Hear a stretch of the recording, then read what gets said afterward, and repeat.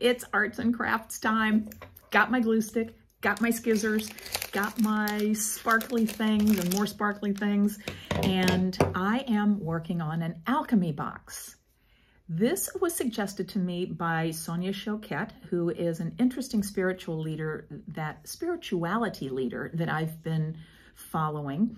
And an alchemy box is basically a 3D vision board.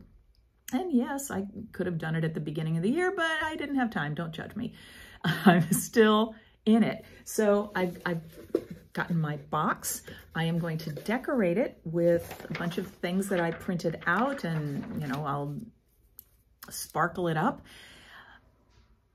But what's really happening is I am going to write longhand all of the things that I want to manifest in 2023.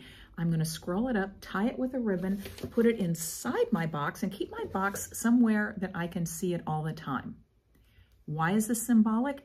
Because it is expressing my trust in the universe. Like we plant a seed and we don't see underground to see it germinating. We just trust that the process is happening. The germination is taking place. And I won't be pulling my scroll out and reading it every day. This is symbolic that any of these things that are to my highest good, the universe is in process of, of providing.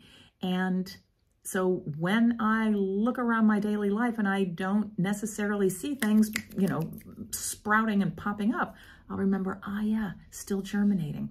You know, this is kind of like not yet having a tenant for our home here so that we can move to Mexico.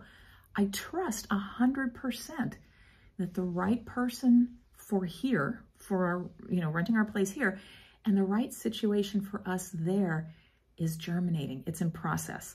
So I am just doubling down on this um, really delightful, comfortable, reassuring uh, approach. And, you know, maybe you want to do it too.